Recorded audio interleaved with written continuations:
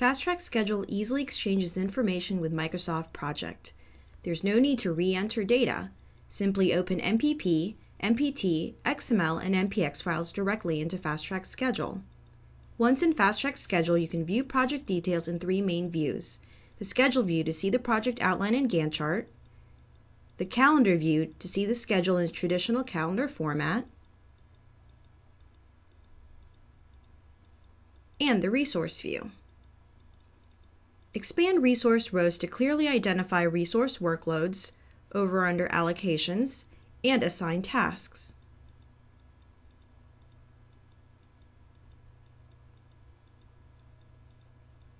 You can rely on FastTrack Schedule to plan, track, and report status updates such as delayed activities. The delays are reflected across the entire project.